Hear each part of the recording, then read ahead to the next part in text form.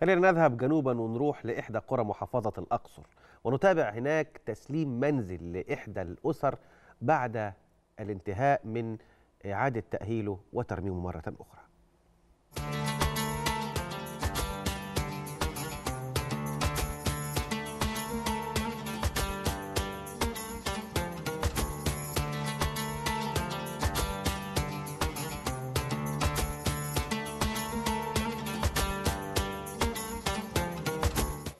حسن صادق. والله على باب الله كده أرزق يعني عمل وجري والله كانت الحياة عيشه الأول بصراحة كانت الحياة يعني حياة يعني الواحد زي اللي قاعد في تراب. الواحد كان ينام وفي الصبح يتوخم وتراب والعقارب تمشي والبراس وال- والقطط تنزل كده علينا بالتراب وكانت الحياة عفشه خالص خالص خالص. أروح عند الناس بالليل وأروح أتونس عند الناس الحلوة. عند الناس الحلوه كده أروح أتونس أقول يا رب كرمني ببيت زي كده عاوز ابقى نظيف زي الناس كده ومش عارف إيه. المهم دعوة من الدعوات قبلت الحمد لله يعني. جاء الأستاذ محمود والناس الحلوة كده يعني نشكر الحاج يوسف ونشكر الناس الحلوة يعني اللي وقفت معانا. طبعا جيت اصور وكده وأنا برضو ما خدتش إن اني في بنى ولا أي حاجة. كل ما يجي واحد مثلا يصور ويقول دخلوه خليه يصور دخلوه خليه يصور. ما خدتش الأمل إني مثلا هعيش الحياة دي. بس يعني كده بصراحة يعني كده أنا عايش الحياة بصراحة ما فيش تاني بصراحة.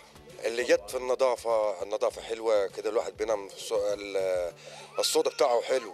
ما يعني ما فيش نهتان ما فيش مثلا تراب ما فيش كده بينام نوم مريحة نظافة ما فيش ما فيش تراب بينزل على البطاطين ما فيش يعني الواحد بيستحمى بيقعد نظيف وكده يعني الحالة حلوة بالصلاة على النبي والله. عملوا لي آه، مطبخ وحمام وأوضتين وصالة. و- و- ويعني حديد حلو الواحد وخلاطات وشغل يعني بالصلاة على النبي وبان حلوة. ويعني شغل بمرض ربنا الأستاذ محمد عبد الجليل يعني حب يعمل أمانة الصح جو والله العظيم. خدمنا خدمة فظيعة. والأستاذ عمر والأستاذ محمود يعني الناس دي كلها بالصلاة على النبي أي حد دخل في صناع الخير كله عاوز يخدم بضمير بصراحة. والله العظيم. يعني نشكرهم ألف شكر برضو إني عملوا لنا العمل الحلو ده بصراحة. ده ده فوق ما تخيل بصراحة. يعني حاجة حلوة بالصلاه على النبي بعد كده ما فيش تاني. يعني الناس اللي وارثة هني وارثة في في الاحراج أعتبر البيوت دي مش زيها بصراحة يعني. يعني شغل تشطيب عالمي. كانت تعاني تقعد في الصبح تكنس وأبص فيها القاها خشمة تراب. آه، أبص فيها القاها كلها تعفرت تراب. تقوم من النوم تقوم من النوم آه، معفرة. يعني تكنس زي كده وتعفر. أنا أبص في منظرها منظرها ما يخيلش علي بصراحة. ارجع أقول امسح أسنانك من التراب. قالت لي عملية سيبوا لك زبط. ما ينفعش في ناس تجي عندك. قش مش عارف إيه.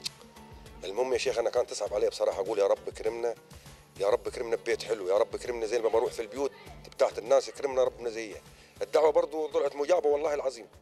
مجابة مجابة يعني. كنا نخاف مثلا من نطره يعني كنا نتهدد لما الجو يغيم كده نقول يا رب استرها معانا ما ما تنطرش بالليل حنروح وين وناجي من فين. طبعا آه، ما فيش حد بيحمل حد يعني مثلا بعياله وكده وما حدش عنده وقت البطاطين يغطي حد.